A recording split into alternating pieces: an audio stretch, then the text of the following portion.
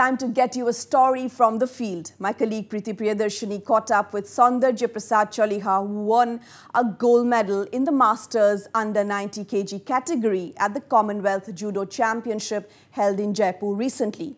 Assam Judo Association congratulated Saundarjya Prasad Chaliha on his feat of glory. Saundarjya started playing judo in the year 1988. The judo champion represented Assam in School Games Federation of India meet. Saundarjya is also the Northeast and East Zone gold medalist. He is the first judo player from Assam to be selected under Special Area Games to attend the camp in Manipur in the year 1990. Saundarjya is the first Assamese and the first from the Northeast to be selected for the prestigious Asian Judo Circuit. Let's take a look.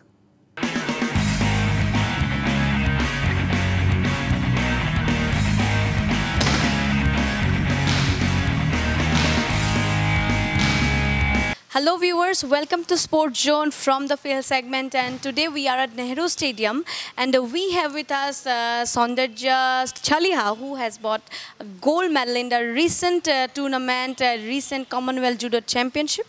And we will try to show you the basics of Judo, what it is all about, what are the, we can say, precautions you need to take and A to Z of Judo today in the, from the field segment of Sport Zone. Uh, so we will try to catch uh, Sonder and try to know more from him.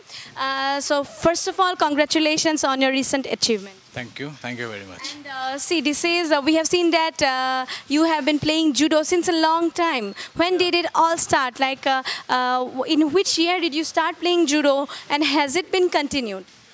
Well, uh, it's a long 30 year journey, to be honest to you. And back 1988, I joined judo. Uh, that time, mostly I was in class 11. So after that, maybe after 97, 98, uh, I was playing as a professional judo player. After that, there was a big stoppage actually, big flu stop there. I had to enter my matrimonial bond, then family life, kids, that's it.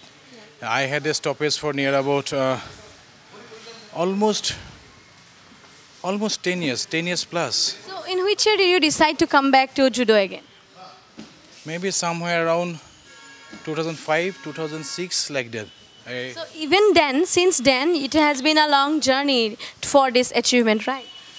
this is a long journey, yes. As a whole, without, I, I, I just can't cut that in between 10 years. It's a continuation part actually for me as a judo player.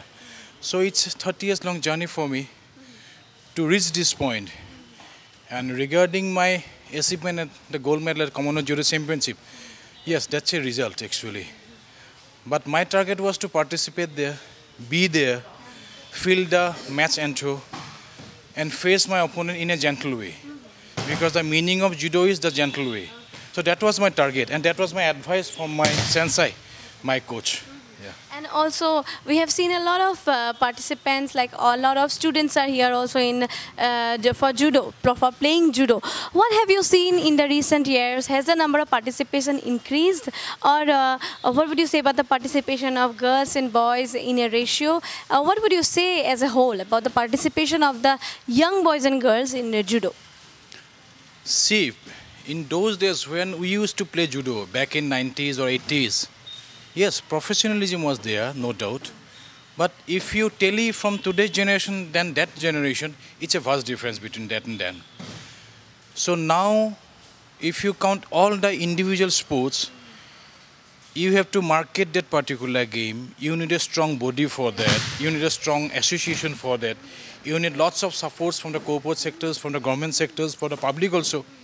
So, and moreover, in today's generation, people go for glamour. They prefer glamour sports. So, in that way, judo is not that glamorous sports, to be frank. And yes, numbers are very high. That the time we joined judo, that time only hardly two or three districts were there under All Assam Judo Association. Now we are having more than 15 to 16 plus. So we can say participation has definitely increased in the recent.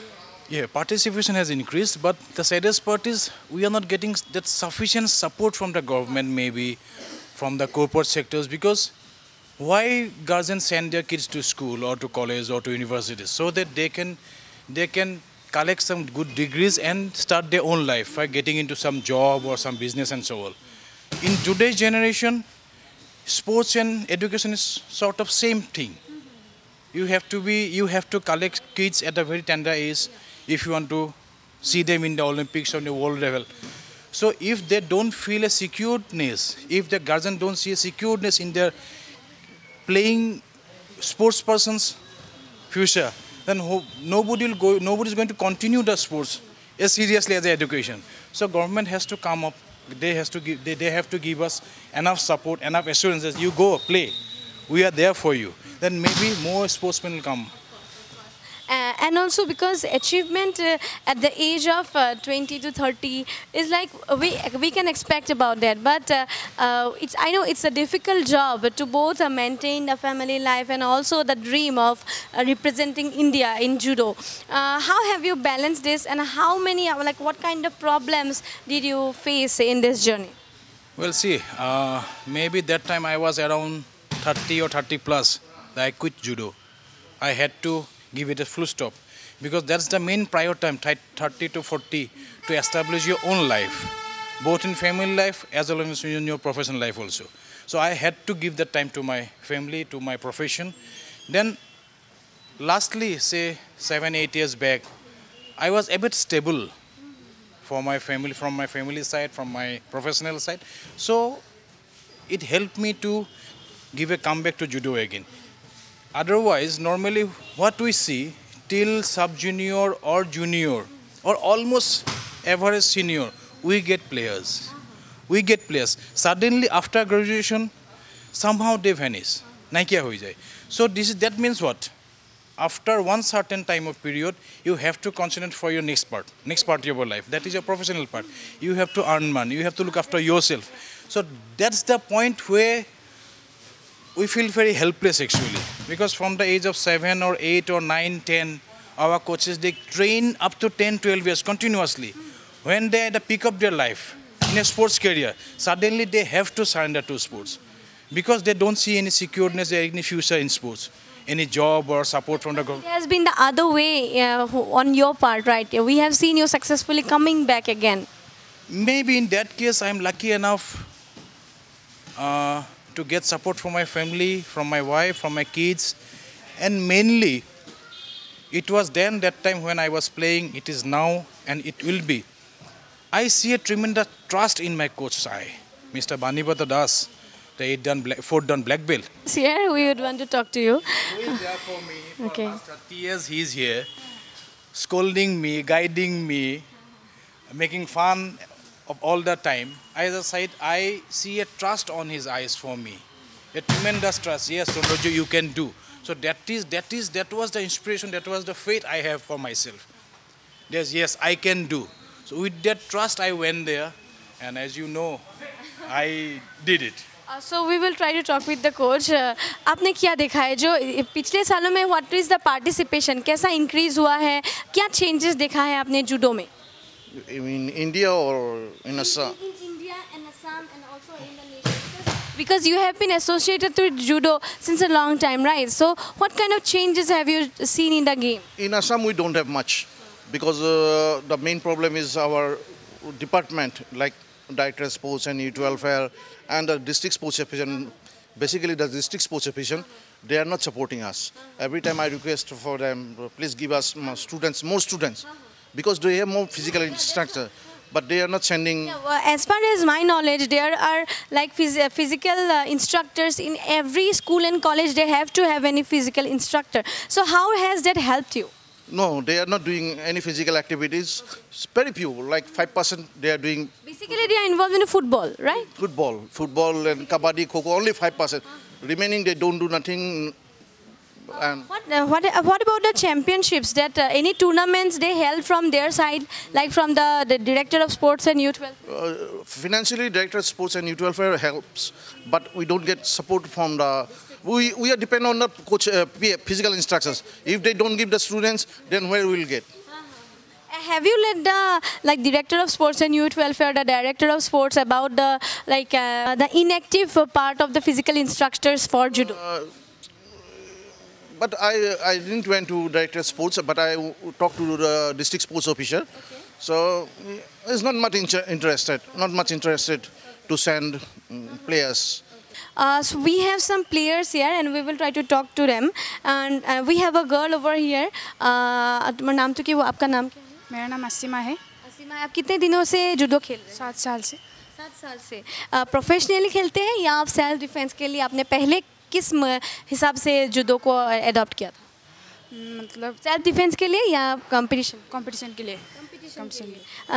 आपका कैसा performance रहा है इन सात सालों में? आपको कैसा लग रहा है जुदो में? बहुत अच्छा लग रहा है मतलब सीख के बहुत कुछ सीखा है और सेल्फ डिफेंस भी सीखा है तो खुद को अभी अभी मतलब कोई भी लड़का छेड़ने का वो नहीं ये नहीं होता।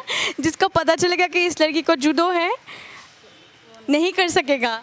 आप क्या बोलेंगे जो लड़कियां हैं उन लोगों को आगे आ- बढ़ने के लिए बोलेंगे जूडो सीखने के लिए बोलेंगे आप आपके आप एक्सपीरियंस से आप अपनी सहेलियों को जो आपको देख रहे हैं उनको क्या मैसेज देंगे আহ, মই এইটোৱে ক'ম যে আহ, আপোনালোকক শিকক নিজৰ চেল্ফ ডিফেন্স আপোনালোকৰ কোনোবা এটেক কৰিলে আপুনি নিজকে বচাব পাৰিব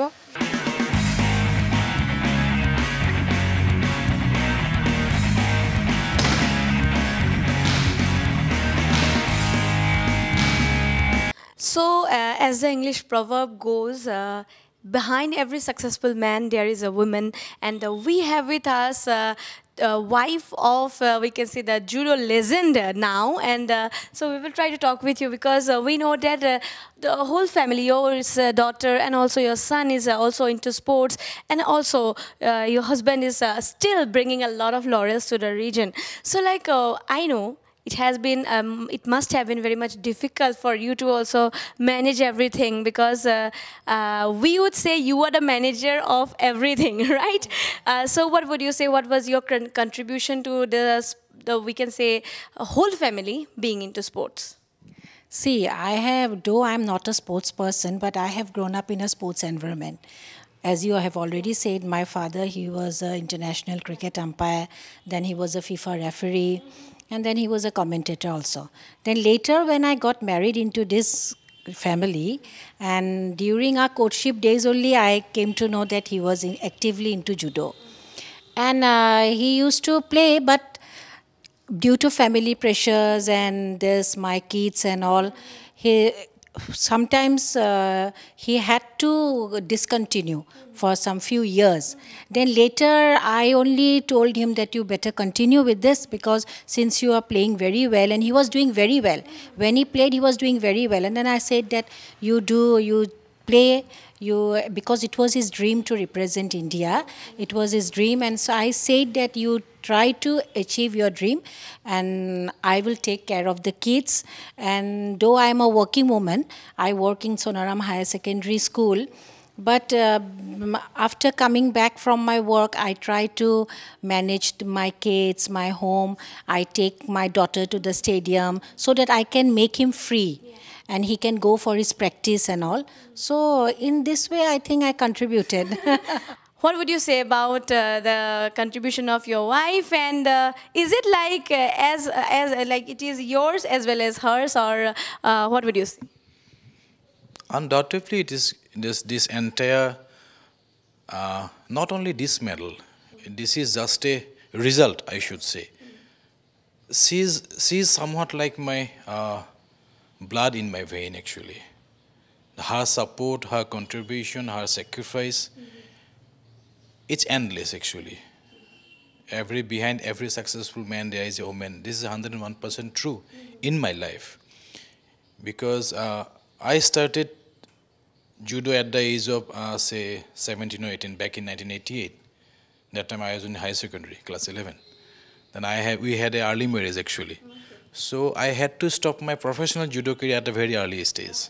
So after that, yet I did participate in some tournaments, but I had to gi- give it a stop, full stop actually.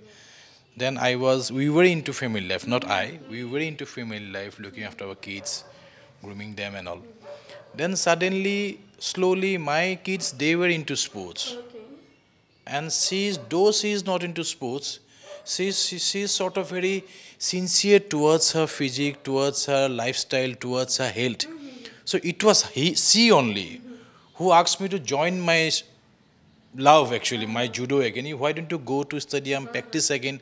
That doesn't mean that you have to go and practice in, uh, you have to join some tournaments and all. Mm-hmm. So that way I joined again. I started practicing. Then life was going on. Mm-hmm. But I had a dream. I had a dream of representing my own country, like being Indian, truly. So when this uh, opportunity came to me, I told her like for say around from October onwards, like this as because this is a very prestigious tournament for judo, for the especially for judo, Commonwealth Judo Championship. I need to go for vigorous practice for at least one and a half months. So can you handle? Because this one and a half months, you are not going to get my support as a husband, as a father. So I have to devote my more time into my sports. Well, she said, okay, you just go ahead. Rest, we will see what will happen. Then just before leaving to Jaipur, she said, go give your best because the meaning of judo is the gentle way. I would want to say if you want to defend yourself, if you want to protect yourself, and if you want to go for judo, definitely this is your place just next to your door, maybe. With camera person Kamal, Preeti Priyadarshini for Northeast Live.